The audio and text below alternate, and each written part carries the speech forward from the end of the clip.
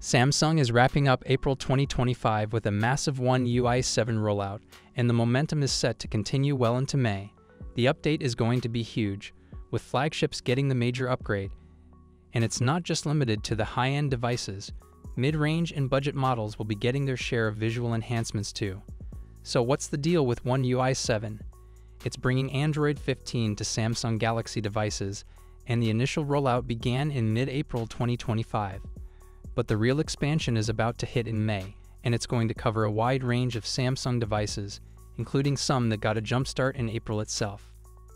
Here's what you need to know about the global rollout and which devices are getting the update. One UI 7 Global Expansion Samsung kicked things off earlier than expected, starting the rollout in South Korea.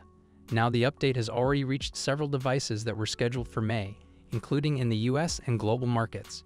Here are the flagships that are already getting One UI 7 or will soon.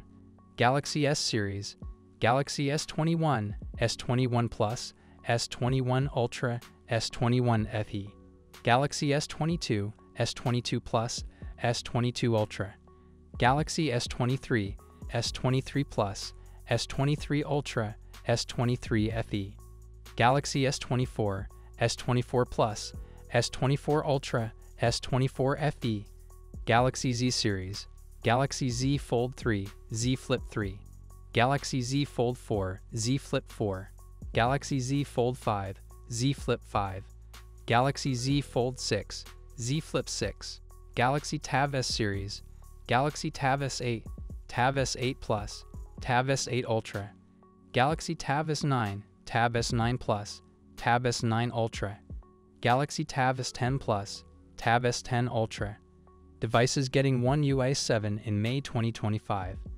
It's not just the premium devices getting the love, Samsung is speeding up the rollout and going ahead of schedule.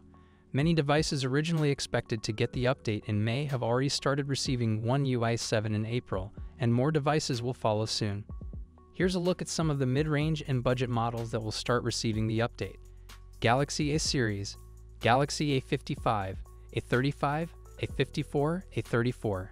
Galaxy M series, Galaxy M55, M35, M54, M34, Galaxy F series, Galaxy F55, F54, F34, Galaxy Tab S FE series, Galaxy Tab S9 FE, Tab S9 FE Plus.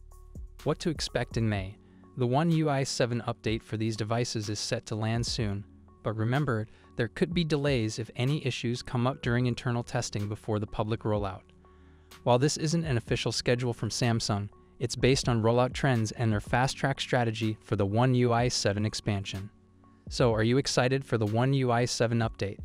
Let me know in the comments which device you're using and whether you've received the update already. If you haven't, be patient, it's coming soon. Samsung's One UI 7 update first landed on the Galaxy S24 and S25 series and is now being extended to the Galaxy S23 series. However, many S23 users are reporting serious bugs and performance issues, raising concerns about the stability of the new software. A user on the Samsung forum shared, Always on display is not working properly. The battery icon and clock are glitching in AOD mode. Also, the charging information keeps changing positions on the lock screen. It feels like Samsung rushed this update. It's very disappointing to face such issues on a flagship phone like the S23 Ultra. Even Galaxy S24 Ultra users are reporting unusual problems. One wrote, After updating my S24 Ultra, I started noticing a noise coming from the charger. I'm using a 25 watt Samsung charger. When I charge other devices like the Galaxy A55 or Tab S7, there's no noise. But with the S24 Ultra on One UI 7, the charger starts making a sound after a while.